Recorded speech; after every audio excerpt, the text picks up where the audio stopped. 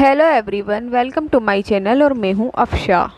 तो आज मैं आपके साथ शेयर करूँगी चटपटी स्पाइसी आलू की कतली।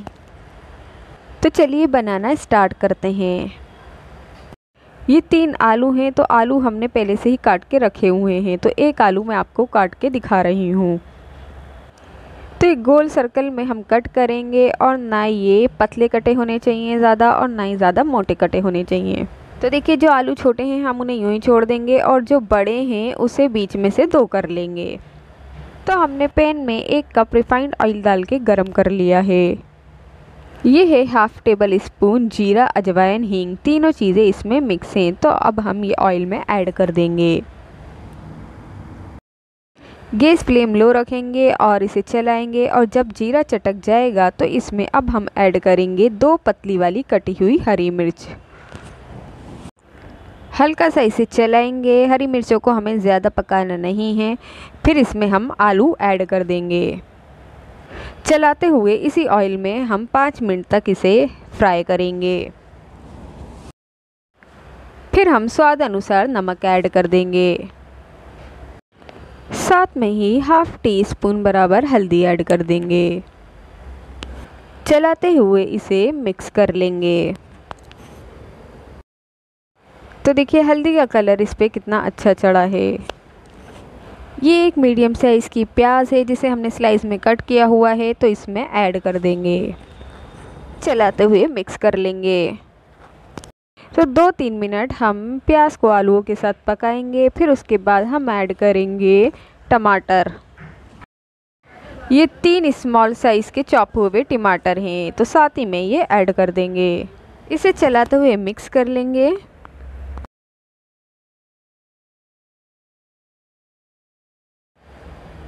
आलू गलाने के लिए हाफ़ कप पानी ऐड कर देंगे। चलाते हुए इसे मिक्स कर लेंगे। पानी हमने ज़्यादा ऐड नहीं करना, बस उतना ऐड करना है कि जितने में हमारे आलू गल जाएँ। अब इसे कवर कर देंगे और लो फ्लेम पे इसे जब तक पकाएँगे, जब तक ये आलू गल ना जाए और पानी ड्राई ना हो जाए। तो देखिए, इसे पकते पकते 10 मिनट हो गए हैं तो अब हम इसे चला देंगे और आलू की साइड्स चेंज कर देंगे। ताकि आलू हम दोनों साइड से बराबर से पक जाएँ। तो अब हम इसे कवर करके 10 से 15 मिनट इसे और पकाएँगे और बीच में एक दो बार चला देंगे। तो देखिए, उसके बाद हम इसे खोल के चेक कर लेंगे। तो आलू पूरे तरीके से कुक हो गए हैं। तो अब इसमें हम ऐड करेंगे हाफ़ टेबल स्पून गरम मसाला। एक मुट्ठी बराबर हरा धनिया। एक मोटी वाली कटी हुई हरी मिर्च। थोड़ी जूलियन कट अदरक। तो इसे चलाते हुए मिक्स कर लेंगे। तो देखिए, इसका पानी भी ड्राई हो गया है। इसमें ज़्यादा पानी नहीं जाता, बस इतना ही जाता है कि आलू गल जाएँ तो इस स्टेज पे गैस ऑफ़ कर देंगे। तो हमारी चटपटी स्पाइसी आलू की कतली बनके तैयार है।